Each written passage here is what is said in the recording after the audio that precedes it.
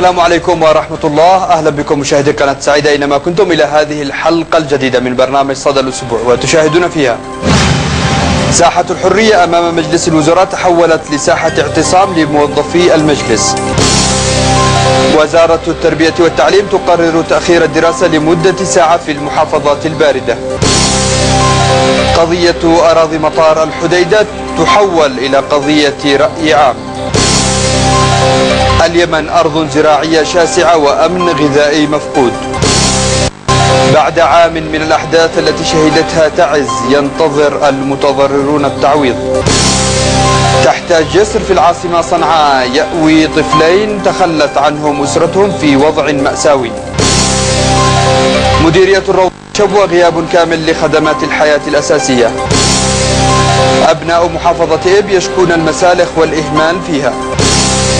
في قفر شمر بحجة امرأة في عقدها الخمسين زادها التراب.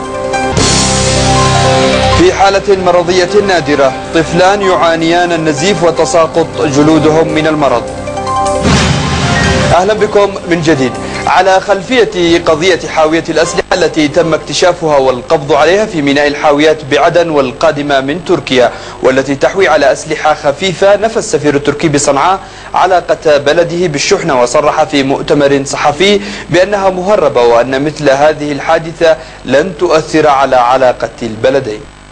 أثارت وسائل الإعلام المحلية والعالمية مطلع الأسبوع الماضي خبر شحنة الأسلحة التركية الصنع التي ضبطتها السلطات الجمركية بميناء المنطقة الحرة بعدن. وفي الوقت الذي أوجد هذا الأمر حالة استياء في وسط الشارع اليمني. وأدخل تركيا في قائمة الدول المتهمة بدعم أطراف سياسية معينة في اليمن ضد أخرى. أوضح رئيس المصلحة العامة للجمارك هوية الشحنة وحجم الأسلحة التي كانت على متنها. ومن يقف وراءها أيضا. آه هذه الشحنة وصلت 25 أكتوبر خرجت من لدينا آه من ميناء الحاويات آه إلى آه جمرك المنطقة الحرة. آه تم آه عرضها على الجهاز الإكس راي وكان هناك بعض الشكوك لدينا من الجهاز.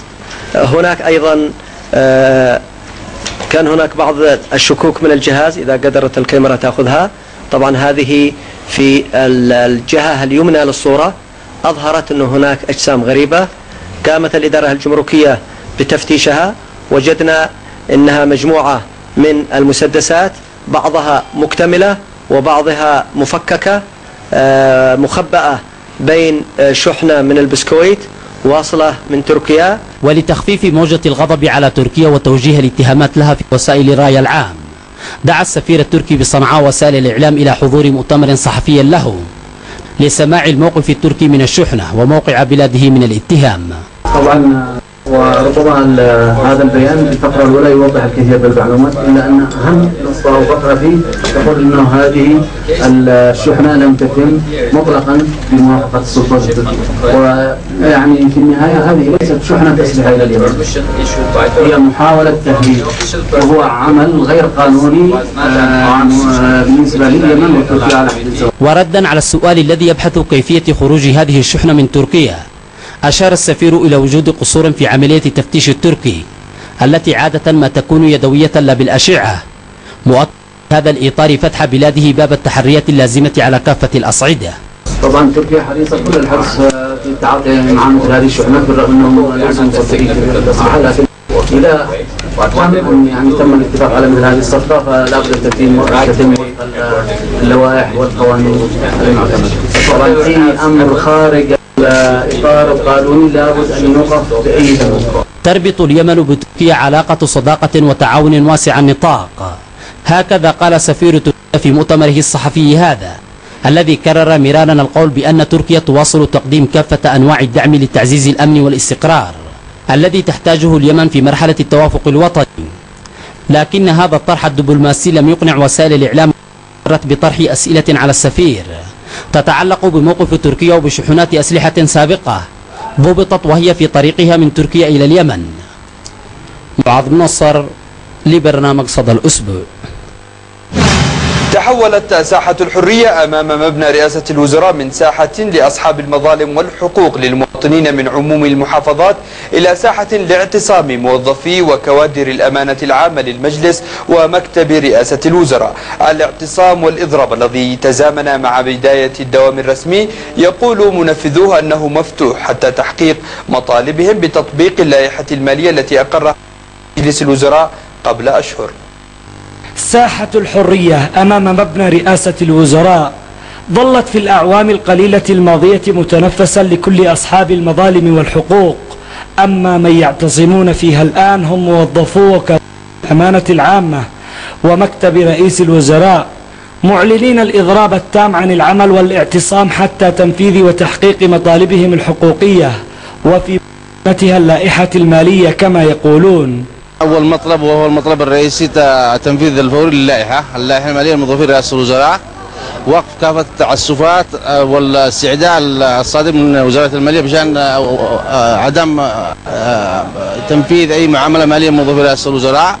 إعادة المبالغ المالية التي تم خصمها من موازنة رئاسة الوزراء موازنة 2012 لكي تتمكن رئاسة الوزراء من تنفيذ اللائحة. إلى جانب حل مشكلات المتعاقدين. ما كنتش أتمنى إن إحنا نوقف في ساحة الحرية، ساحة الحرية هذه أماكن يعني أقصد أنا لجهات أخرى مظلوم آخرين. مطالبنا حقوقية وليست سياسية. هكذا يعبر هؤلاء ويرفعون اللوحات في إشارة إلى أنهم ليسوا محسوبين على أي طرف. لكن المطالب والحقوق هي من دفعتهم للاعتصام. لا داعي لأن تذهب هذه الحقوق إلى يعني إلى تجري بمجرى التسييس. هناك لائحة أصدرها دولة الأخ رئيس الوزراء مشكورا بإصدارها في أصدرها في 22 4 2012 على أن على أن يبدأ تطبيقها في بداية يونيو 2012 إلا أننا فاجأنا وفي فترة إعداد اللائحة المالية قيام وزارة المالية بتخفيض مبلغ ما يقارب حوالي 700 مليون ريال من موازنة رئاسة الوزراء والتي كانت ستغطي بنود اللائحة. لسبب إلى الآن لا, نعلم ما, ما, ما هو دافع ذلك. الإضراب الذي عطل العمل في مجلس الوزراء تماما منذ بداية الدوام بعد إجازة العيد. كان قد بدأ جزئيا الشهر الماضي. الوعود بالحلول ظلت دون تنفيذ كما يقولون. في الوقت الذي رفضت فيه الجهات المعنية بالمجلس التصريح بشأن الاعتصام محمود الحميدي صدى الأسبوع. نتيجة لازدياد حدة الصقيع والبرد في بعض المحافظات قررت وزارة التربية والتعليم تأخير موعد الدراسة لمدة في المحافظات الواقعة تحت تأثير موجة البرد. قم للمعلم ووفه التبجيل كاد المعلم أن يكون رسولا. أحمد شوقي عندما ذكر هذا البيت لم يكن يتخيل ولو لبرهة بسيطة أن المعلم سوف تسوء حالته في يوم من الأيام ويشتكي وربما يندب حظه لأنه أصبح معلما فها هنا في اليمن يشتكي المعلمون من القصور الواضح وهضم حقوقهم البسيطة وكأن حقوقهم أصبحت أحلاما يتمنونها وهم ينتظرون الفارس الذي ينقذ أحلامهم المشروعة وصل إلينا التعميم ببدء الإضراب وتعليق الشارات الحمراء بإعلان الإضراب. فبدأت هيئة التدريس كاملة بتعليق الشارات. ثم بدأنا بالإضراب الجزئي وهو بداية من الحصة الرابعة حتى الحصة السادسة بالنسبة للفترة الصباحية. منذ أن وضعت الاستراتيجية الأجور والمرتبات لم يعني يعطى المعلم حقه بالدرجة الأساسية. هناك قضايا كثيرة بالنسبة للقطاع التربوي. لأنه القطاع الأشمل والأعم على مستوى الميدان من حيث عدد العاملين من حيث عدد الموظفين في هذا القطاع. ليس هدفنا هو الخلخلة وبالعملية التعليمية ومصلحة طالباتنا وطلابنا مسؤولية الجميع ولكننا نطالب بأبسط حقوقنا وهي مطالب كفلها لنا القانون والدستور.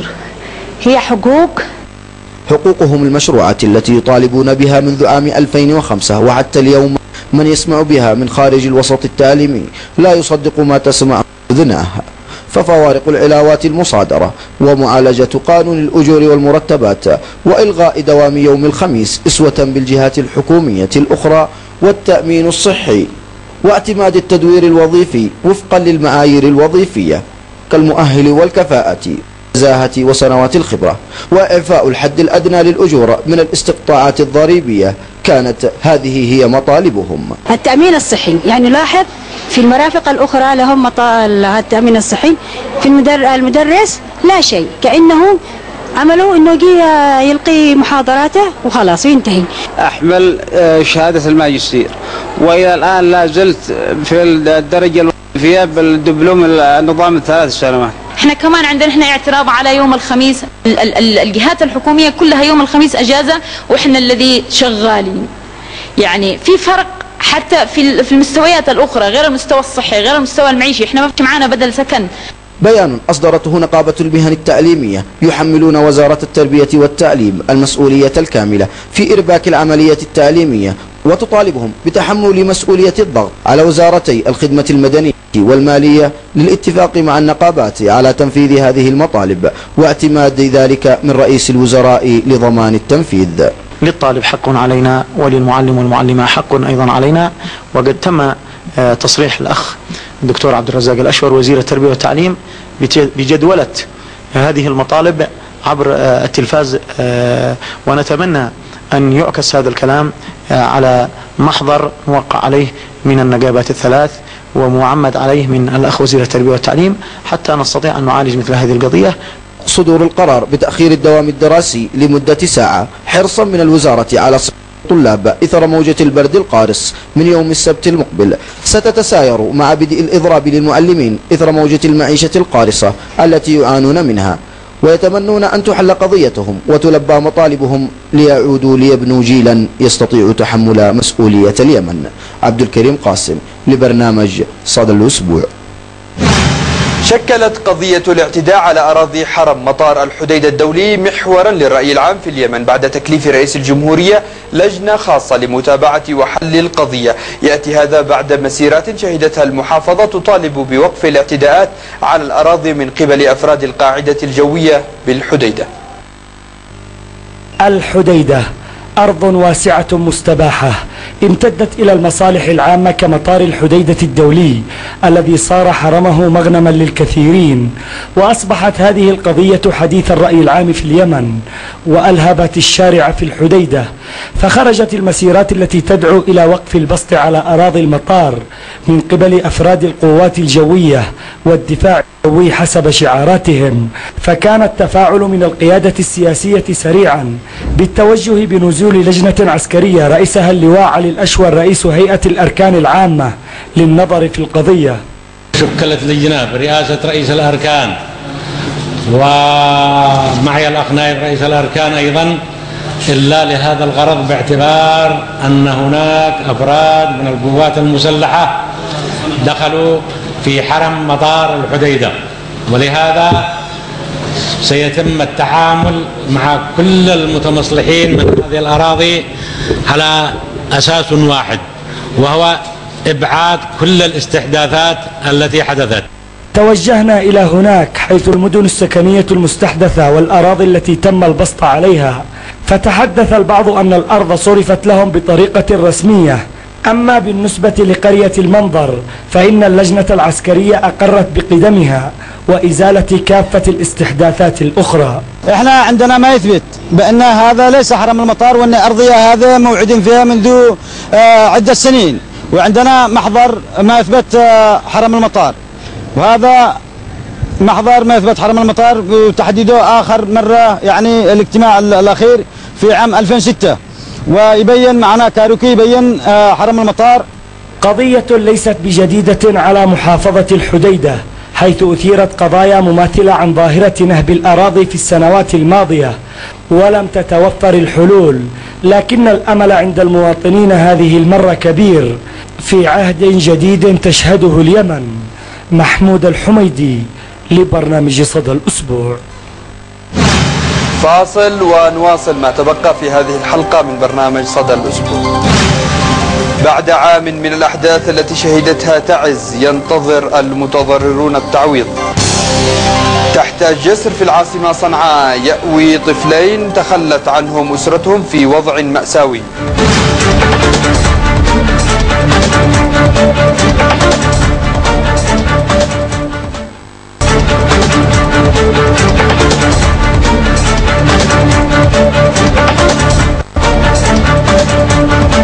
أهلا بكم من جديد. في الوقت الذي يمتلك فيه اليمن مساحة زراعية واسعة إلا أن الواقع الزراعي يتحدث عن قصور لدى الجهات المعنية الغير قادرة على تحقيق الأمن الغذائي ما يجعل اليمن من أكثر الدول المستهلكة للقمح إلى جانب غياب سياسة البذور المحسنة. قد يكون كثيرا هو الإنفاق العام على أمن الوطن والمواطن. وقليل جدا هو الإنفاق على الأمن الغذائي للبلد. فلا وجود عمليا يستحق الذكر لبرامج الدولة وسياسة حكومية تنموية ذات رؤية اقتصادية تحقق الاكتفاء الذاتي لليمن من القمح والبقوليات كمحصول استراتيجي وغذاء عالمي له تبعات اقتصادية وانعكاسات سياسية أقلها الضغط الخارجي والابتزاز الدولي للشعوب التي لا تأكل مما تزرع أرضها ومنها اليمن. اليمن تمتلك مساحة زراعية شاسعة بيضاء لو استغلت لحققت الأمن الغذائي للبلد ولصدرت أضعاف احتياجات الوطن من القمح والبقوليات إلى الدول الأخرى. المزارعون في اليمن عموما على قلتهم مغردون خارج اهتمام الدولة وبرامجها الزراعية المتعثرة وكثير هم المحبطون والغارمون أكثر. معوقات المزارع في المنطقة نفسها قل الأمطار وبعض الحشرات في, في الأرض. وعدم الاهتمام من الدولة بالمزارعين. ولهذا السبب يعني في نكسات حقيقية على المواطنين. فنطالب من الدولة لفت النظر للدعم المزارع خاصة المزارع الذي هو حالته ضعيفة. والأرض موجودة. القصور الرسمي في دعم البرامج البحثية للأصناف المحسنة وعدم التوسع الحكومي في مزارع إنتاج القمح ومحاصيل الحبوب ودعمها دليل يقنع بغياب رؤية الدولة وسياستها الاستراتيجية فيما يخص الأمن الغذائي للبلد. فما هو موجود من مزارع عامة للبذور المحسنة على ندرتها؟ تشكو العبث والإهمال والتعثر وتعاني من شحة المعدات وقصور برامج التحديث والصيانة لمستلزمات الإنتاج ومحدودية الموازنة. ويقسم ظهرها ارتفاع سعر تعرفة استهلاك المزارع لتيار الكهرباء. فتدفع للدولة عشرة أضعاف التعرفة التجارية للكهرباء حسب قول بعض المعنيين. وهو ما يتسبب في ارتفاع كلفة إنتاج القمح. الأوقات والصعوبات التي نمر بها في داخل المزرعة أو التي تواجه المزرعة هي بشكل أساسي هو انقطاع التيار الكهربائي والتي تفتقر المزرعة إلى وجود مولد يغطي ما تحتاجها المزرعة من كهرباء حيث أن الآبار كلها تعمل على الكهرباء والري محوري. عد تبني الدولة سياسة تخزينية لتوفير الغذاء من خلال إنشاء صوامع الغلال لتستوعب استقبال محصول المزارعين ومن ثم تسويقه محليا وخارجيا جزءا من المشكلة.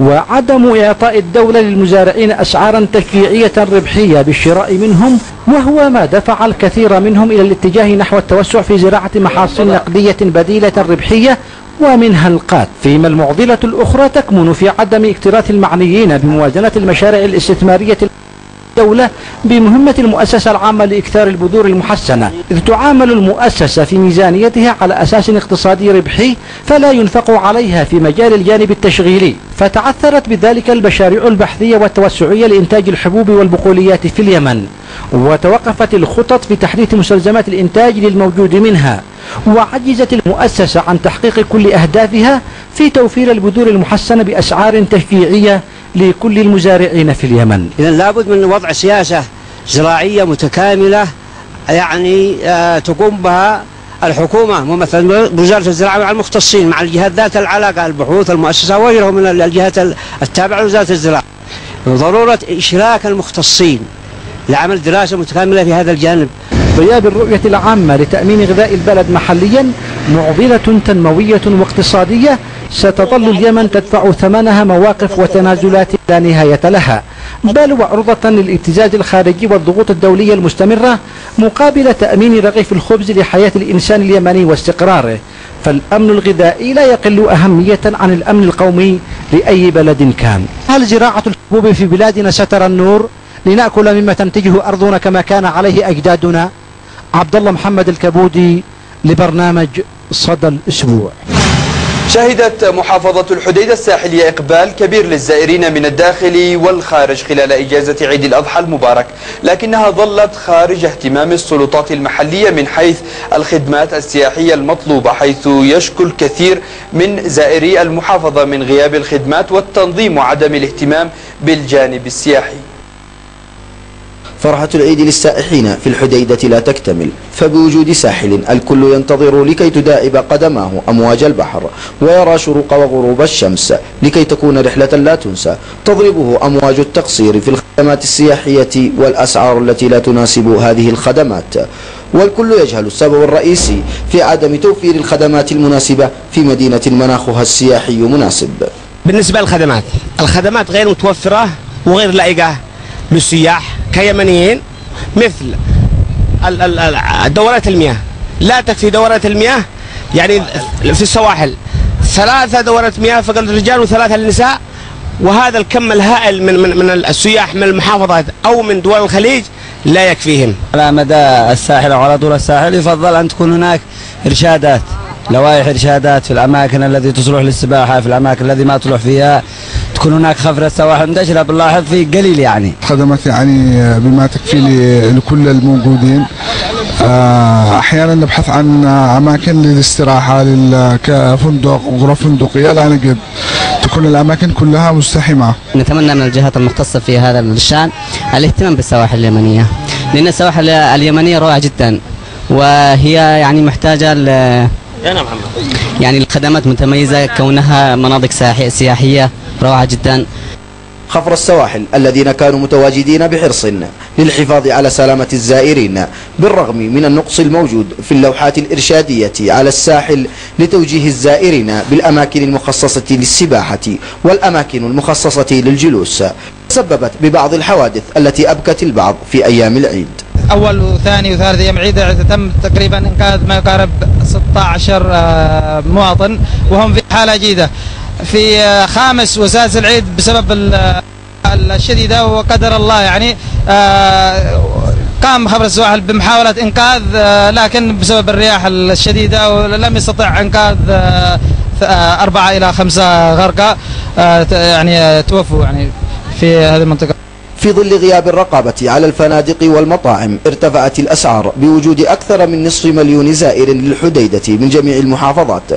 اضطر البعض للبحث عن أماكن غير مهيئة للجلوس والمبيت فيها مع وجود الساحل الجميل الذي يفتقر لأقل الخدمات أهمية حتى الأطفال وهم فرحة العيد. تبدو على وجوههم ملامح تعجب لعدم توفير المنتزهات الحكومية المجهزة لهم. عبد الكريم قاسم. صدى الأسبوع. رغم مرور أكثر من عام على ما شهدته مدينة تعز من أحداث ومواجهات خلفت الكثير من الأضرار رغم نزول لجنة التعويض من قبل عام للتقييم والرفع للتعويض يشكو الأهالي المتضررون من عدم تعويضهم نسيان قضيتهم هذه ويناشدون رئيس الجمهورية والحكومة تعويضهم. كون هناك أسر ما زالت مشردة.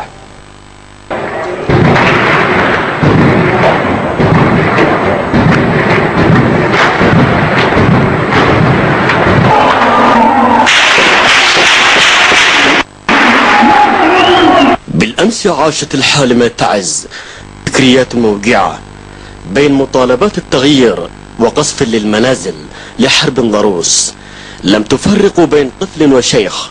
إنها الحرب المدمرة والتي خلفت القتل والجرح والدمار لمحافظة قيل إنها الرائدة والسباقة في خضم المطالبات بالتغيير.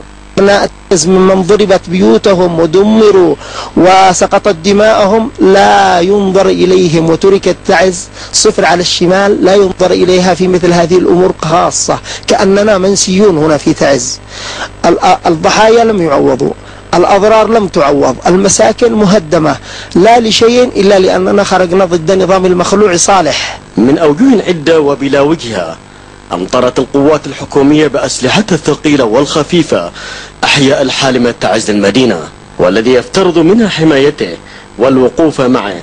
لطالما وأن ثلث ميزانية الشعب تذهب بصالح هذه القوات فهذا هو حي المسبح يتوشح دمار جراء القصف العشوائي والمركز من عدة اتجاهات عقاب دون ذنب. كما يقول الأهالي غير أن المصير هو هدم المعبد على من فيه. أشهد لله شهادة أن هذا واقع يعني كلهم بيقولوا الكلام هذا الذي مقاورين.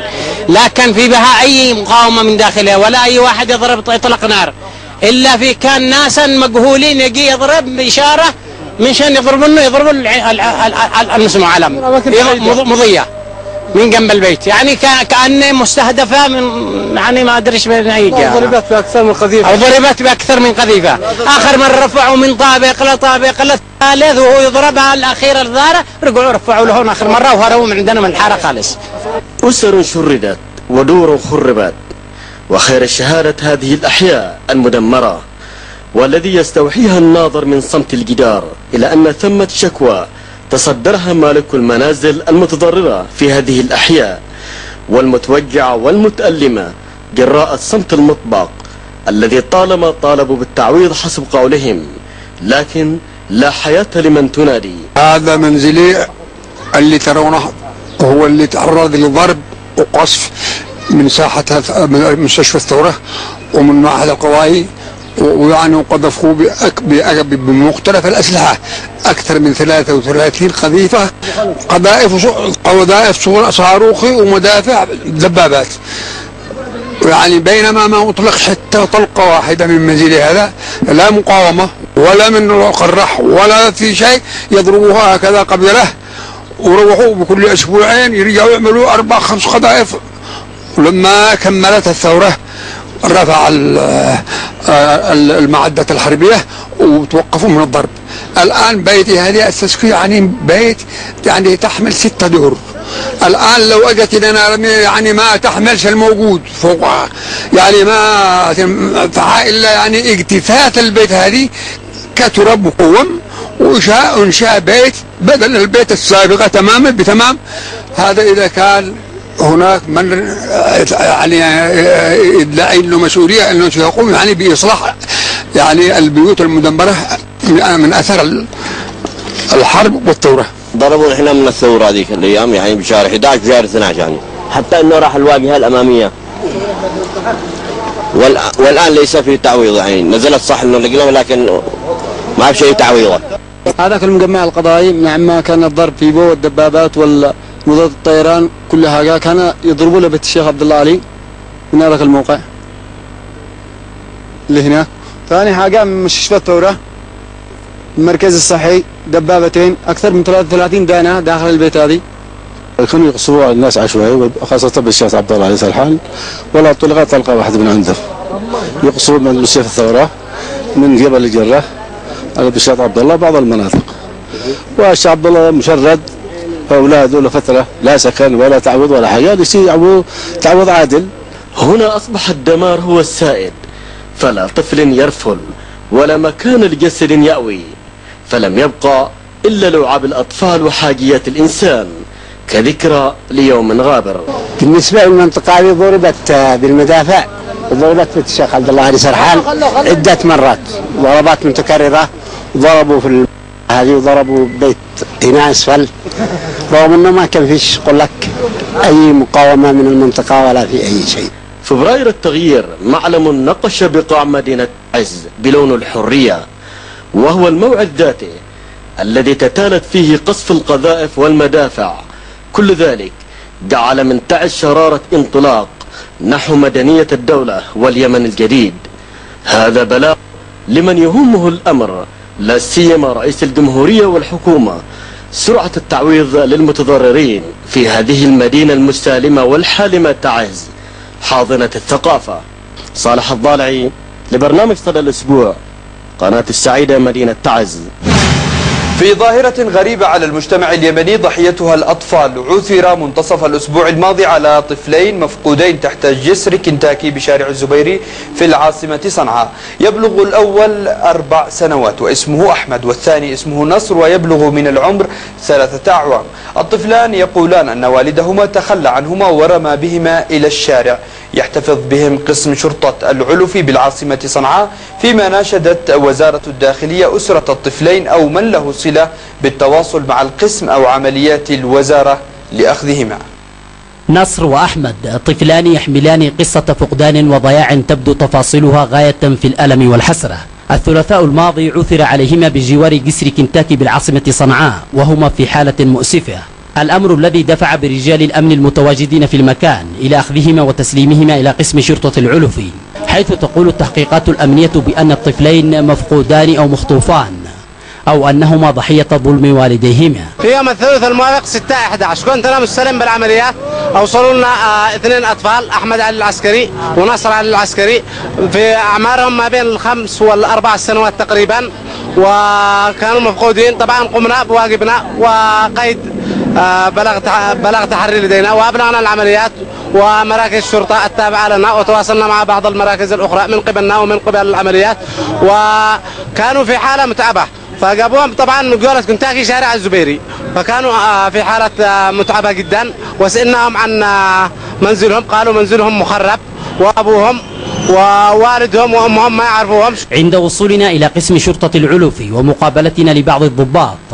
سألنا عن الطفلين فقيل لنا بأن وضعهما الصحي المتردي دفع بأحد رجال القسم إلى أخذهما إلى منزله للعناية بهما ورعايتهما.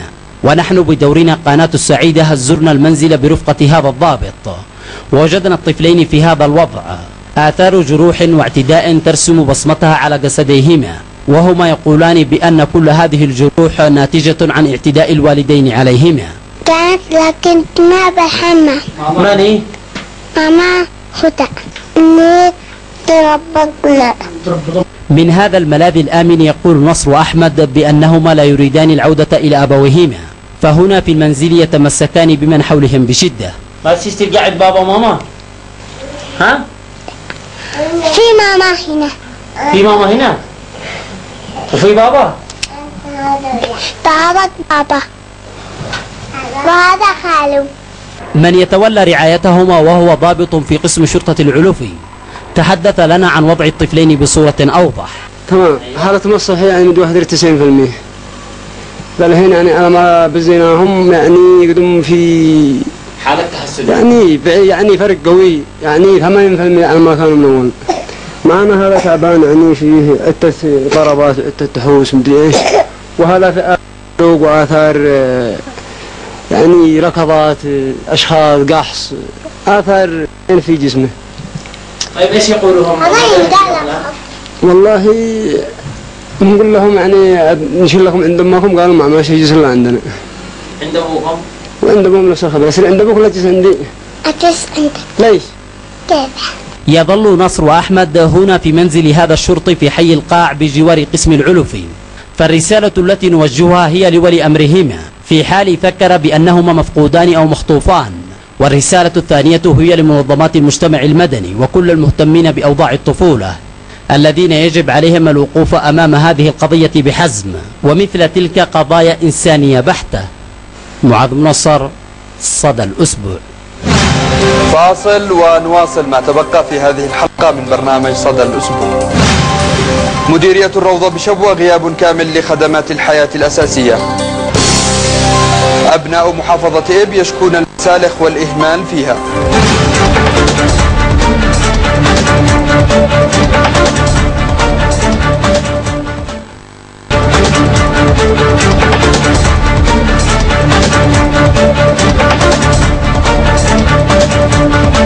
أهلا بكم من جديد. لدوره وجهوده في العمل الدبلوماسي كقنصل لمملكة النرويج في اليمن. كرم السفير النرويجي بالسعودية الحاج عبد الواسع هائل سعيد أنعم القنصل العام للنرويج في اليمن وبتكليف من الملك النرويجي. جاء ذلك في احتفالية أقيمت بصنعاء بحضور وزير الخارجية الدكتور أبو بكر القربي وعدد من السفراء وأعضاء وسفراء الدول الشقيقة والصديقة في اليمن. هذا هو وسام استحقاق الفروسية الذي منحته مملكة النرويج لرجل الأعمال الشهير الحاج عبد الواسع هائل. وذلك تقديرا لجهوده وأعماله التي يبذلها الرجل منذ توليه منصب القنصل العام لمملكة النرويج بصنعاء. السفير النرويجي في الرياض قدم إلى صنعاء حاملا هذا الوسام الذي يحمل أكثر من رسالة للشعب اليمني وللحاج عبد الواسع هائل الذي شهدت له النرويج بالكفاءة والتميز والعمل بروح الخبير. منذ تولى منصب القنصل العام لمملكة النرويج قبل 17 عاما. Uh, من الصعب اختيار آه، قنصل آه، يمثل مملكة النرويج. ولكن اختيارهم آه، يقع تحت معايير محددة. هي شخصية الرجل التي يجب أن تكون شخصية عندها أخلاق عالية عندها التزام عندها مصداقية. وشخص يكون عنده علاقات واسعة يستطيع من خلال هذه العلاقات الواسعة آه، خدمة مصالح آه، مملكة آه، الن- النرويج في البلد ال- التي يتم آه، اختيار الشخص لمثل هذا المنصب. الحاج عبد الواسع هائل الذي يبذل جهودا كبيرة إزاء العمل الوطني والإنساني يحظى باحترام واسع من قبل القيادة السياسية اليمنية ومن قبل المفكرين والسياسيين وسفراء الدول في اليمن. فجميعهم حضروا إلى هذا المكان ليباركوا للحاج عبد الواسع هذا التكريم المتميز الرفيع من قبل النرويج ولافتخار الحاج عبد الواسع وحبه الكبير للوطن. أهدى هذا التكريم المفاجئ للرئيس عبد الرب منصور هادي وللشعب اليمني أجمع. طبعا سعادتي لا توصف. آه لم أكن أتوقع هذا التكريم ولكن فوجئت وأنا في القاهرة قبل أربعة أيام. بالاتصال آه، بس- السفير النرويجي من الرياض اتصلوا بي ويقول أنه سيصل صنعاء يوم الأحد لغرض آه، تكريمي بوسام من الملك. ولم أكن أعرف ما هو هذا الوسام. إلى أن طبعا حتى قبل الإعلان عنه لم يخبرنا لم يخبرنا. سألته ما هذا ما هو الوسام؟ فلم يخبرني. خلي ستسمعه مني عندما أصرح به. فأنا سعيد وأقول هذا ليس ليس تكريما لي بل تكريم لي لمن ككل وأنا أقول بهذه المناسبة أنا أهدي هذا التكريم لفخامة الأخ الرئيس عبد الرب منصور هادي وللشعب اليمني جميعا يعني إن شاء الله. الحاضرون شعروا بسعادة تامة بذلك التكريم فجميعهم يتحدثون عن شخصية عبد الواسع هال من زوايا باعثة للسرور. انطلاقا من الدور الذي يلعبه الرجل اقتصاديا وسياسيا وما إلى ذلك. ولذا فهذا الوسام هو أقل ما يمكن أن يمنح للحاج عبد الواسع. هائل. أنا سعيد بأن أن هناك شخصية مرموقة في اليمن تحظى بهذا التقرير من دولة النرويج.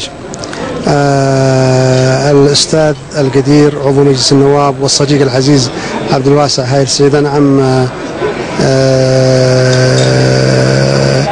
يستحق هذا التقدير آه، بامتياز آه، أولا لأنه آه، شخصية مرموقة وخدماته كبيرة على مستوى اليمن وعلى وخارج اليمن. وثانيا لأن لديه خبرات واسعة في التعامل وهي تطوير العلاقات بالذات بين اليمن والنرويج. وأرجو أن يكون أن تكون الأيام القادمة والسنوات القادمة خيرا في هذه العلاقات على المستوى ال- على المستوى ال- ال- اليمني وعلى المستوى النرويجي. آه، عرفت اليوم أنه مضت هناك حوالي 17 عام. هذا التقدير بوسام الفروسية. آه، هو أيضا تقدير لكل الطيبين في اليمن. يجمع كثيرون على أن الحاج عبد الواسع هائل ليس بمثابة رجل أعمال فحسب بل هو أب وأخ وصديق ورفيق لأبناء الشعب اليمني. الذي يكن للرجل كل الحب والاحترام والتقدير. بلا شك أن أولا التكريم أقل ما يمكن أن نصفه به أنه آه، لأفضل مستحق له. لأن الحاج عبد الواسع من خلال عمله العام أولا آه، والمتجسد في خدمة اليمن من الناحية التنموية الاقتصادية عمل آه، له. قبل أن يكون حتى قنصلا فخريا لمملكة النرويج. وأعماله كما تعلم هي أكثر وأبعد من حدود العلاقة أيضا مع النرويج فهو أيضا آه، سفير روحي كما يقال ولكنه أيضا آه، مخطط اقتصادي. ومشارك تنموي وإنسان حق ومكتمل بمعنى الكلمة في كافة الأعمال التي يقوم بها ممثلا أيضا لخدمة آه، هذا البيت الممتاز أيضا آه، بيت هائل سعيد. ومن المهم أيضا في ليلة كهذه أو مناسبة كهذه أن نترحم أيضا على مؤسس هذا البيت الحاج هائل سعيد. أنعم لأنه هو في حقيقة الأمر أول من أسس لهذه البيوتات المتمكنة القادرة على أن تشارك وتنخرط في بناء أوطانها وتكريم الليلة في حقيقة الأمر هو تكريم لليمن بأكمله.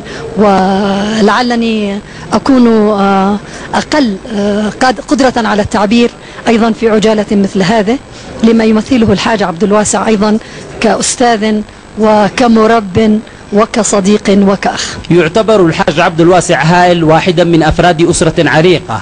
كانت وما زالت حاملة لقيم وأخلاق الإنسانية والوطنية. فالجميع يعرف دور أسرة هائل سعيد أنعم في المجتمع اليمني حيث يبرز ذلك الدور في كل ساحة ومدرسة ومشفى وصرح وتقديرا لكل الجهود التي تقدم من قبل هذه الأسرة العريقة. سيظل الشعب اليمني يبادلهم الاحترام والوفاء وكل ما يمكن أن يقال ويطرح في قاموس الأخلاق وحب الوطن. معاذ منصر لبرنامج صدى الأسبوع. يشكو أهالي مديرية الروضة بمحافظة شبوة من عدم وجود الخدمات الأساسية حيث لا يوجد التيار الكهربائي والطرق الوعرة غير معبدة وتغيب عن قراهم خدمات المياه والاتصالات وغيرها من الخدمات. التفاصيل من شبوة في التقرير هنا وادي سلم مديرية الروضة محافظة شبوة بتفاصيله الحزينة ومعاناته الأليمة التي تواصل التمدد عبر حكومات تعددت وتلونت في هذا البلد. مثل ما تعددت وتلونت معاناة أبناء سلمون التي تقع في نطاق المرتفعات الجبلية الشرقية لمحافظة شبوة.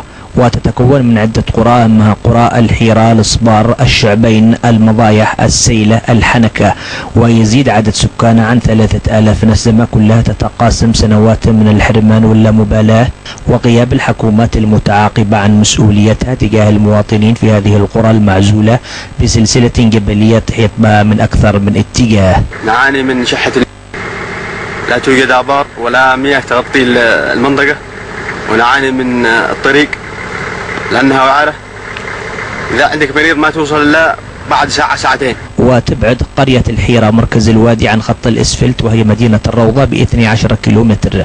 بينما تبعد من الجهة الأخرى عن مدينة الحوطة بمسافة 30 كيلومتر. ومع هذا عجزت الحكومة عن سفلتة هذه الطريق رغم ما تسببه من معاناة كبيرة للمواطنين وخاصة عند نقل المرضى في ظل انعدام أي خدمات صحية في قرى الوادي. أما عن المياه فهنا قرى في هذا الوادي ما زالت تفتقر لوجود مشاريع المياه ومنها قرية الشعبين حيث يقول أهاليها أنهم يقلبون الماء على ظهور الحيوانات لسد احتياجهم من المياه. طلب عندنا وعلة ولا يقدر المريض ولا راح. رجع المرافق مريض معه. وهذا منطقة محرومة من كل شيء. وخاصة المياه. المياه ماشي. عندك زواج عندك موت عندك هذا لازم ترجع. الآن المواطنين يرجلون بالدبب وعلى الحمير. جماعة السيارة يرجي بالسيارة. وهذا مش صحيح. البير محفورة عندنا أنا ولا لها مطر جميع قرى وادي سلمون تعاني انعدام التيار الكهربائي ويقول الأهالي أنه رغم الوعود العديدة والمتكررة التي أعطيت لهم من قبل أهل القرار إلا أنها ظلت حبرا على ورق. منذ سنوات عديدة ولم تكن إلا دعاية سياسية وانتخابية تتجدد كلما جاء حلها خدمات الصحة والتربية في وادي سلمون هي الأخرى تعاني وضعا مؤلما. فقد قال لنا الأهالي أن مدرسة الحيرة للبنين والبنات مغلقة منذ بداية العام الدراسي الجاري بسبب خلافات شخصية. وحتى اللحظة عجزت السلطة المحلية ممثلة بالمجلس المحلي ومكتب التربية بمديرية الرضا عن إيجاد حل للمشكلة وإعادة فتح المدرسة. أما الوحدة الصحية التي شيدت قبل عدة سنوات فهي مغلقة أيضا ولم تفتح منذ أن تم إنجازها وحتى إشعار آخر وهي التي من المفترض أن تقدم الرعاية الصحية الأولية لأبناء هذا الوادي. هكذا إذا تتعدد صور المعاناة بكل ألوان الطيف في قرى وادي سلمون غير أن الأهالي هنا يحظوهم الأمل في اهتمام حكومة الوفاق بمعاناتهم وإعطاء هذا الوادي ما يستحق من اهتمام وعناية وتنمية. جمال شنيتر لبرنامج صدى الأسبوع وادي سلمون محافظة شبوة. يشكو الأهالي في محافظة إب من ما يعانيه المسلخ المركزي من إهمال لا سيما خلال عيد الأضحى المبارك حيث تحول المسلخ إلى محوى للقمامة والمخلفات والذي تزامن مع إضراب عمال المسلخ خلال أيام العيد. إدارة المسلخ اعترفت من جهتها بالقصور ووعدت بالمعالجات. لا يصدق من يرى هذه المشاهد أنه في مسلخ صحي للذبح وأن هذه اللحوم المتناثرة هنا وهناك في هذه الأرضية سيأكل منها البشر. مشاهد تشمئز منها النفوس هنا في المؤسسة العامة للمسالخ في محافظة إب والتي تحولت فيها من جهة راعية للصحة والبيئة ومكان يأمن فيه المواطن على ذبيحته إلى مستنقع من القاذورات ومخلفات الذبح التي تنبعث منها روائح كريهة بل مصدر لنقل الأمراض. اشتغلنا نشتغل أيام عيد الأضحى المبارك ثلاث أيام وإحنا نشتغل واصل ليل ونهار. الهاي قد نظافة بعض العمال ما رضوش يشتغلوا ما ما معهم شنو ياكلوا ولا معهم عيد. حتى البيطري مش موجود. يكشف على اللعب. حق المواطنين في الصباح. والآن إحنا بدون مرتبات. لسبب لهذا السبب ما فيش المسؤول الذي يقوم بالواجبات الذي حق العامل. فبالنسبة للمسلخ إب إحنا هربوا المواطنين من المدينة من المنظر السيء من الذبح بالشوارع من الذبان من البعوض. وجينا للمسلخ جينا عدو اضرط فالأوساخ فالأوساخ يعني كما ترونها والمخلفات بالقاع. واسوء من ذلك إنه جينا يوم الأربعاء نذبح الأضحية معنا أضحية للحارة. جينا على عجال صغار يعني يذبحوا مرازن بقر مرازن لا رقابة ولا محاسبة ولا من يبصر. رغم أن هذه المؤسسة يفترض بها أن تكون هي الجهة الضابطة للمخالفات التي قد ترتكب من قبل الجزارين إلا أنها بالمقابل أصبحت خدمتها رديئة وسيئة وبدون رقابة صحية وعدم الالتزام بالدوام. لنا من الصباح الباكر من بعد الفجر والإخوة منتظرين للذبائح في هذا المسلخ. وإلى الآن الساعة الآن 11 والذبائح اللي أعطيناها من شان الفقراء والمساكين في المنطقة في منطقة جبلة إلى الآن يعني لم نجد من يتجاوب من عمال المسلخ ولا يوجد من يريدون تأجيل الذبيحة إلى إلى بعد إلى بعد العصر وبعضهم يقول إلى إلى العشاء الآن يعني. أدي واحد عندي فاعل خير خمسة كباش للمساكين. أتينا إلى المسلخ الساعة 9 الصباح. ولم نجد من يذبحن ولا من يسلخن. ووجدنا أن المسلخ في حالة سيئة للأسوأ.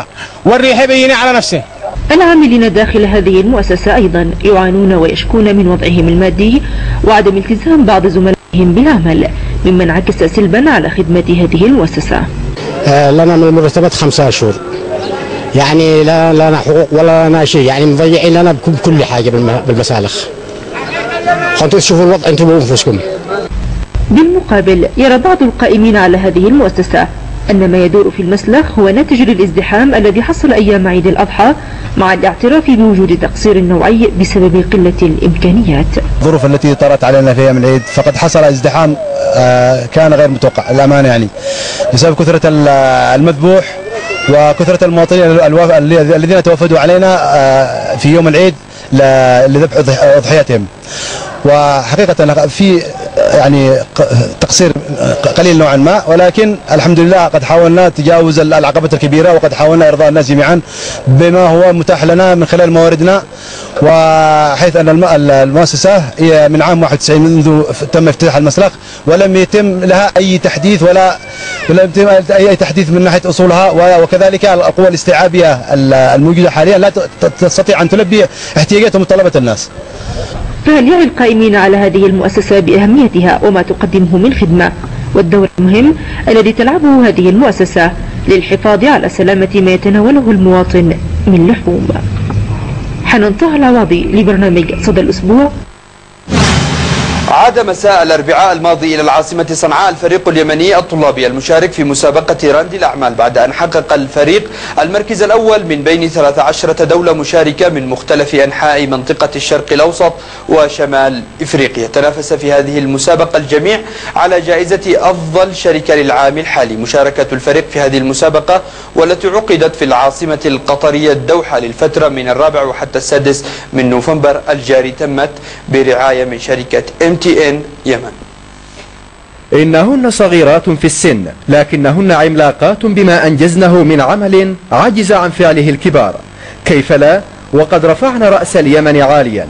هؤلاء هن الطالبات الست واللواتي نستقبلهن اليوم هنا في مطار صنعاء بعد أن حصلنا على المركز الأول على مستوى الشرق الأوسط وشمال أفريقيا في مسابقة مؤسسة إنجاز العرب السنوية لريادة الأعمال والتي ختمت أعمالها مؤخرا في العاصمة القطرية الدوحة.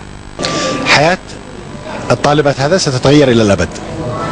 وكذلك تأثير فوزهن وعلى بقية الدول العربية والحصول على المرتبة الأولى سيؤثر وسيغير بقية الطلبة في الثانوية العامة في اليمن. أقول لهم مبروك مبروك لليمن وأتمنى أتمنى أن البذرة هذه تنتشر وتتوسع على مستوى اليمن كاملة.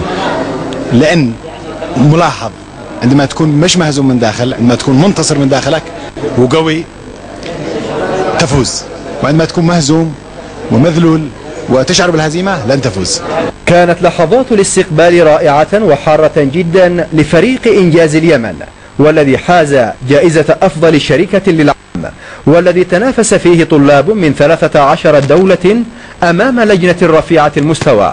واجهوا فيها تحديات تتعلق بإدارة الأعمال التجارية من واقع الحياة الحقيقية علاوة على عرض المنتجات التي قاموا ابتكارها وفي نهاية المطاف كان النصر حليفهن بعد أن توجوا بالمركز الأول.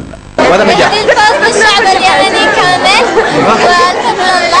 أهدي لأبي وأمي وكل من ساعدني منظمة إنجاز أهديه لابن عمي أهديه للأستاذ ماجد وشركة امتياز الداعمة والله مسرورون جدا لهذا النجاح ونتمنى أن يواصلوا مشوارهم ومستقبلا. والشكر الأخير لأمثال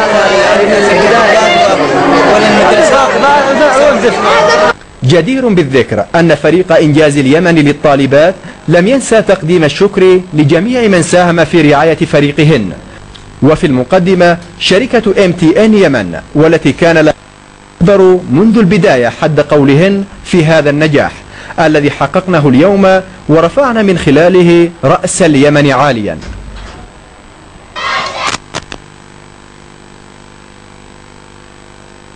محمد البطاح لبرنامج صدى الأسبوع. فاصل ونواصل ما تبقى في هذه الحلقة من برنامج صدى الأسبوع. شمر بحجة امرأة في عقدها الخمسين زادها التراب. في حالة مرضية نادرة طفلان يعانيان النزيف وتساقط جلودهم من المرض.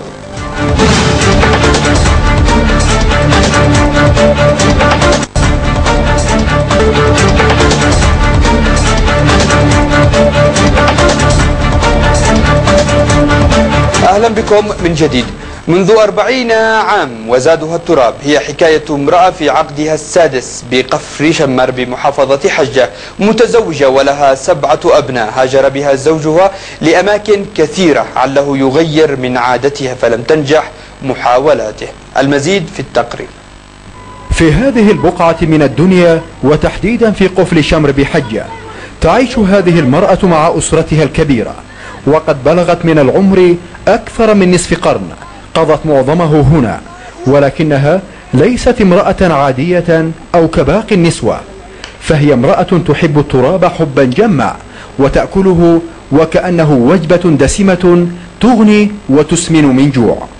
أكله من أول شبابي من عام كم يعني كم لك؟ وآدم شباب وتأكلي وتفطري وتغدى وعشبة عشبه فطران وبو أقول لك مش لكل لقمتين ثلاث بس. إذا خدرت قليل أقدر أطرش. منعناها عدة مرات وهي لم ترجع. عن أقواله إلا تأكل كم من. اللي في الأسرة اللي يأكلوا التراب؟ تنتين واحدة تأكل يعني خفيفة يعني مش زي ما هي. تأكل خفيف. أيوة. وتأكل عيش هذيك ثانية؟ أيوة تأكل إيش بس هذه هذا إذا كلن إيش يعني تتأثر. تدعى هذه المرأة حظية وهي تحظى بالقدر الأكبر من التراب كل يوم مقارنة بإحدى بناتها التي بدأت تحدو حدوها وكأنها ستكون حالة وراثية. والغريب في حظية أنها لا تأكل التراب فحسب ولكنها أيضا تتمتع بصحة جيدة ولا تستطيع الاستغناء عنه مجبرة لا مخيرة. فإذا أكلت ما سواه كالخبز مثلا تشعر برغبة في التقيؤ وتمرض مرضا شديدا. أكلت لحمة أم أموت أكلت سمن أسل ما لا أفكرش الا أكل ما هبم تراب. لكن مش صحيحة يعني. صحيحة خلاص ده قدر الله قدر عليها ربي واني معاها ها. وأختك يا ثانية تأكل تراب؟ في واحدة من أخواتك تطلع من تأكل حبة حبة مستأم أمي. لكن أمك يعني. أمي زيادة عن البشر. مدمنة أمي مدمنة مثل الماء الهيرويل بين التراب. شاءت الأقدار أن تعيش حظية على التراب المخلوط بالأحجار بشتى أنواعه ولكل له مذاق خاص ولكنها تفضل تراب وادي مور حيث مسقط رأسها. حتى كان تلاحق مقطن حق وادي مو مخلب حق وادي. كان من أسبوع لاسبوع تملي كيس تقدمه تملي كيس تقدمه تملي كيس تقدمه حبيبتي كلي لك سمن كلي لك لحم كلي لك ذئب. تأكل مسمن ما ما ما يمديهاش تأكل ملحمة ما يمديهاش. تصبر تتقلقص يسب أنفار رجالة. 50 مئة. وأربع بنات. أربع بنات. وعشر أنفال أربي يعني كل هذه المكان كله اولادك و... كلهم أولادي يعني انت جدتهم الأصل. أنا من الأصل. سبحان الله جلت قدرته. هذا ما يقوله كل من يرى هذا المشهد العجيب في اليمن. عند هذه المرأة في هذه الأسرة الفقيرة ومن داخل هذه الأسرة قالت إحدى الفتيات مقولة نختم بها تقريرنا لو كان الشعب كله يأكل التراب كأمي لانتهت مشكلة الفقر في اليمن. محمد البطاح لبرنامج صدى الأسبوع. في حالة إنسانية نادرة يعاني الطفلان فواز وعبد الحميد الصريمي من مرض وراثي في الدم يسمى بالهيموفيليا وهو مرض نادر يشبه مرض تكسر الدم لكنه أشد قوة وأثر. أصيب به الطفلين في عمر السنتين. تتساقط جلودهم وتنزف أجسادهم من أقل احتكاك أو سقوط. وتشكو أسرتهم قلة الحيلة ويعيشون معاناتهم بعجز المعدم. التفاصيل في التقرير هيموفيليا الدم مرض جعل من حياة الأخوين فواز وعبد الحميد معاناة مستمرة وألم لا ينقطع وحسرة في قلب والدتهم التي تراهم يتألمون ويعانون وهي عاجزة لا تستطيع فعل شيء لهم. هذا المرض الوراثي والذي أصيب به ولديها وفلذة كبديها منذ أن كان في عمر السنتين والذي يعتبر من أمراض الدم الوراثية أعجز الأطباء عن فعل شيء لهم. المرض اللي فيهم هيموفيليا في الدم. يعني من عمرهم سنتين فواز بعاني مع ولد الحين. يعني ما حصلت لهم علاجات ما فحوصات هنا زي الناس أجهزة تفحص تفحص يعني المرض هذا مش موجودة. يعني هذا المرض ما فيش له علاج هنا في اليمن يعني؟ ما في ولا ما له علاج. يعني كم دكاترة يقولوا لي ما له علاج. آخر دكتور قال لي علاجات هنا ما في متواجدة عندما رأينا وشاهدنا الأخوين فواز وعبد الحميد ظننا أن حريقا قد أصابهم فالتهم أجزاء من وجوههم وأيديهم وسيقانهم. لكننا ذهلنا عندما عرفنا بأن هذا كله سببه هذا المرض والذي مع أقل ضربة على جلدهم أو وقعة على الأرض يتساقط لحمهم أمامهم لضعف الخلايا والأنسجة حسب قول والدتهم. ما درستهم والإصابات هذه في البيت معانا هنا قدام الباب يعني لو وديتهم مدرسة أخاف عليهم لو خرجوا من عندي الباب لحد الدكان اللي جنبي أخاف عليهم يطيحوا يعني بحافظ عليهم يعني ما عرفت إيش أعمل لهم يعني مد- مدرسة ما درستهم يعني لو رحت أسوقهم معاي لو جالسة أجلسهم جنبي يعني بحافظ عليهم بقدر ما أستطيع. لو لبس ثياب يعني حتى لو لبس ثياب يلتصق اللحم في الثياب ثياب قاسية. أيوة. لازم ثياب رطبة يعني إن شاء الله. إن شاء الله اللحم كلها حصلها في, ال... في ال... الأرض ولا في القميص اللي ألبس ألبسه له وهذه طاح جنب الدرج. وهذا طاح في الأرض. أشوف اللحم يعني قدامي يتناثر في الأرض.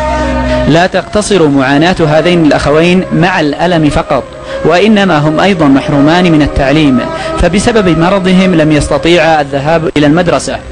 فهما بهذين الجسدين النحيلين وأنسجتهم الضعيفة لا يتحملان أدنى ضربة قد تصيبهما. بتمنى يساعدوني أعمل لهم فحوصات أشوفهم أشوف المرض ده عنده علاج ما عنده علاج. بس أنا الشيء اللي بتمناه يعني أنا. أنا فواز يعني كنت يعني صابرة يعني.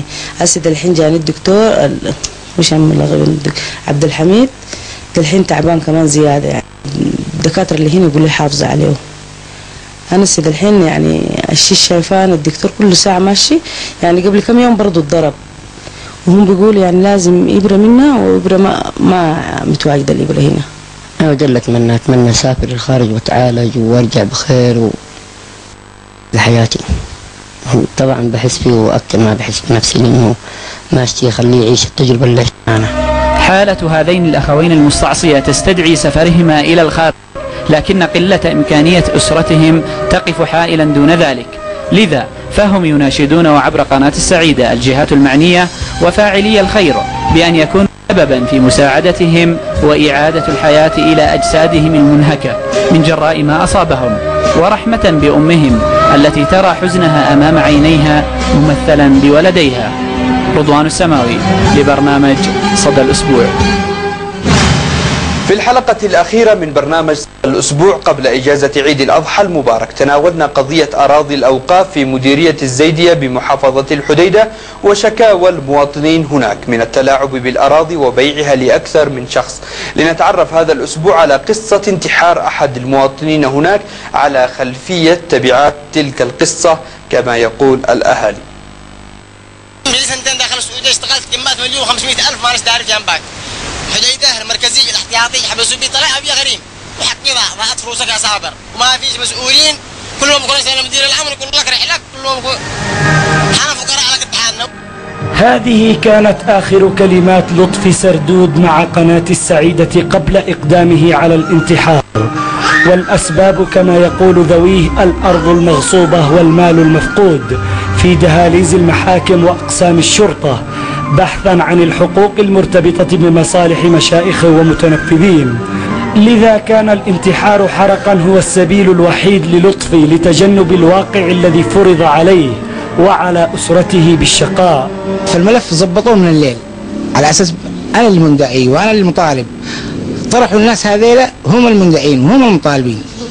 وجيت فوق سجلنا ثلاث أيام. بعدين جاء ابني من السعودية. جلسنا نطالب أنا وياه نطالب أنا وياه.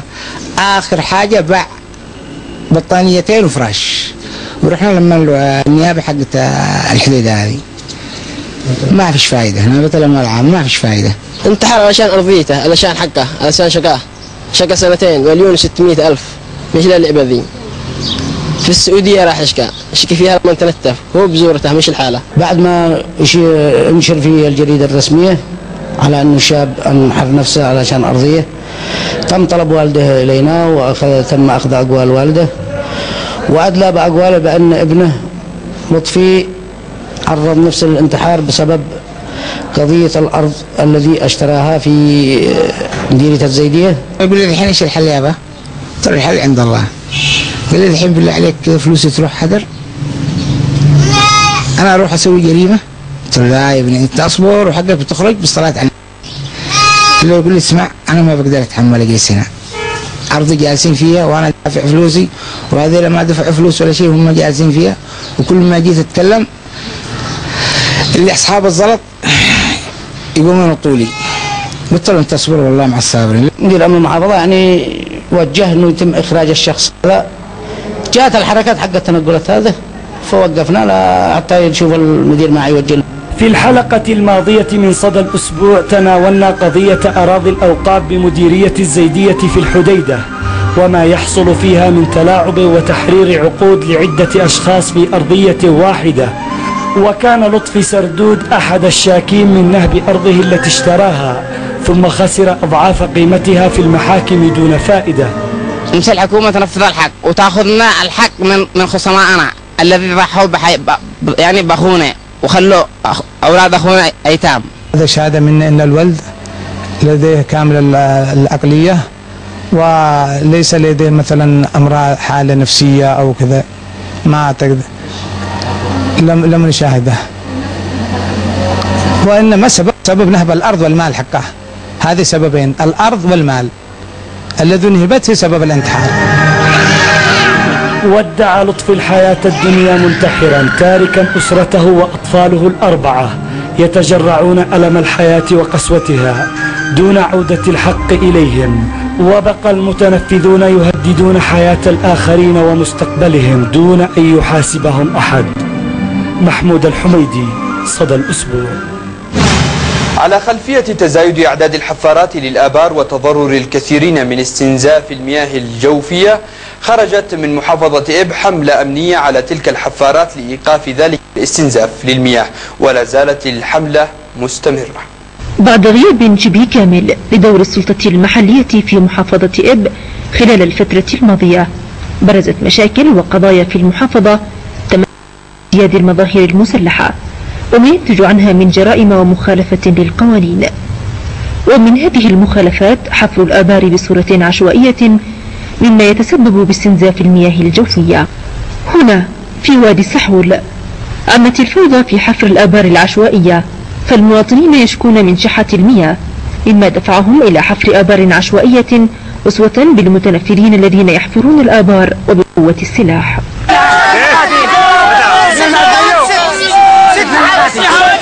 بسبب إيش؟ آه بس بسبب وهذا مشايخ هذا شيخ. وضابط بالجيش. ليست الحرب الأهلية عندنا لأسباب طائفية أو حزبية ولكنها بين الأهالي بين القبائل بأنفسهم وذلك بمشكلة آه، حفر الآبار. نعم نحن كمنطقة زراعية نحتاج لمياه وكذلك كمواطنين نحتاج لمياه الشرب. قيام هؤلاء النافذين بمنع الحواجز المائية التي صرحت بها الجهات المختصة لاستغلال حاجة الناس للماء وبيع الماء لهم من آبارهم الخاصة بمبالغ كبيرة قد تصل إلى 6000 ريال للساعة الواحدة. الناس ما من اضطرار من غلاء السعر من عند المواطن المشايخ اللي يرفعوا اسعار المكاين السعر السعر 6000 حتى انه ما قدروا والماء قليل. الآن المشايخ حق الناحية قاموا عصابة على منطقة المصينعة ودورة العودين. وقاموا جمعوا لنا رشاشات. زاد الحكومة خرجت لنا حملة فوقنا. إحنا معانا بسبب إن إحنا نشتري نحفر مال الشرب ونسقي أراضينا المتضررين وأما المشايخ معاهم من 10 بيار ومن 15 ومن 20 بير ما ما بش عليهم حكومة. البلاد عاد شيء من جميع الجهات المشايخ محاربين لنا. المشايخ هم أساس الخراب بال- بالبلاد. السبب إنه فعلا راجعنا أول شيء على. آه، حاجز مائي خرجنا ثلاث رجال. للحاج المائي مع مدير المديرية مع مندوب المحافظة. وجهزنا الملف وللنهاية يدخلوا يمنعوا علينا داخل الصندوق. وقعوا لل جاهز. جاهز للتموين. وفي سعيها لإصلاح الوضع الأمني وتفعيل دورها. عقدت اللجنة الأمنية بمحافظة إب اجتماعا برئاسة محافظ المحافظة القاضي أحمد عبد الله الحجري. وعلى إثره تم توجه حملة أمنية مشتركة من جميع الوحدات لضبط الحفارات التي تقوم بحفر الآبار العشوائية تمهيدا لسحبها وضبط المخالفين.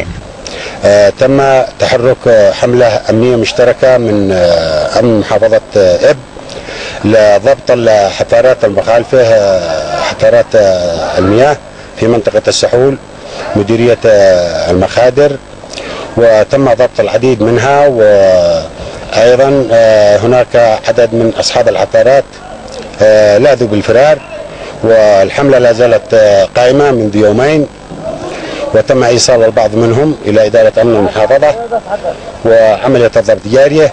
وان شاء الله تتم الأمور على خير ان شاء الله.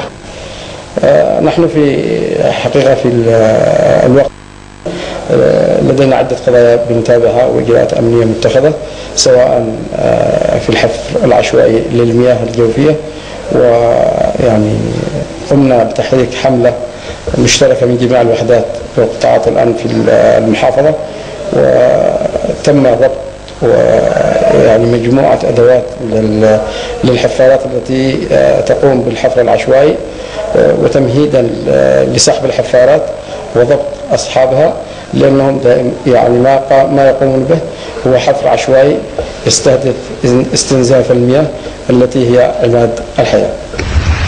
محافظة إب مقبلة على قرار لاعتمادها عاصمة سياحية للجمهورية اليمنية.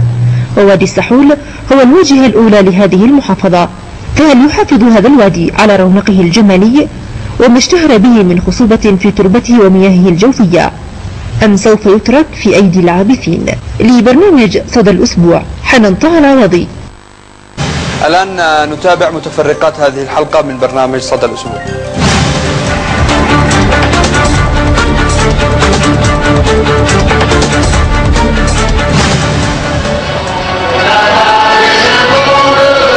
بعد أن حققت نجاحا تنمويا كبيرا وبعد أن استطاعت أن توائم بين عملياتها الإنتاجية وبين قدرتها على بناء علاقات متينة بالشعب اليمني والحكومة اليمنية والتي اتصفت بالعادلة والشفافة.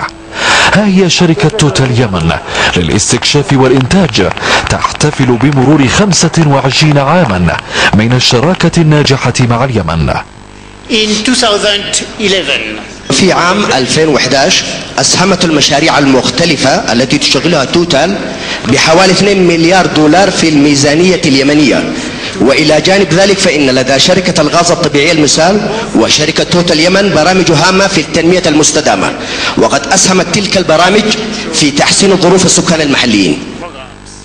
بحب أشكر اليمن والشعب اليمني لقبولهم لهذه الشراكة التي دامت 25 سنة. بحب أشكر عمال وموظفين توتال E&P يمن لأنه هم اللي أكدوا أنه هذه الشراكة راح تكون كويسة ل 25 سنة. هذا الاحتفال أتى مستعرضا لإنجازات توتال يمن في مجال الاستكشاف والإنتاج وكذا في مجال التنمية المجتمعية خاصة في الصحة والتعليم والرياضة والتدريب. الحمد لله نقول إنها نجحت وبشكل طيب إن شاء الله ونتمنى المزيد أيضا. وهناك تشجيع للاستثمار آه، يعني توجه القيادة السياسية والحكومة بشكل كامل لدعم وتشجيع الاستثمار لشركة توتال كشريك أساسي ولبقية الشركات أيضا. آه، الاستثمار سواء كان في الجانب النفطي أو الغازي أو المعدني. حصلت كارثة في 2008 في حضرموت في ساء وكان كا- كارثة السيول بل طوفان بل نحن نعتبرها نازلة من الله سبحانه وتعالى على هذه يعني حلت بال بال بال بالناس بالأمة في هذه المنطقة. أنا أقول إن أول من سارع واول من, من, بادر إلى تقديم المساعده الطارئة. ها؟ للناس كوحدة يعني وحدة طوارئ عملتها شركة توتال هي شركة توتال ساهمت في مجال التنمية وفي تأسيس آه، معهد تدريبي لأبناء المنطقة. فقرات فلكلورية رائعة. تضمنت هذا الاحتفال الذي حضره ممثلون عن الحكومة اليمنية وشركة توتال وسياسيون ومثقفون ومواطنون من كل محافظات اليمن. بهذا وصلنا إلى نهاية هذه الحلقة من برنامج صدى الأسبوع. نلقاكم الأسبوع القادم ومواضيع جديدة. دمتم ودامت اليمن بخير. إلى اللقاء.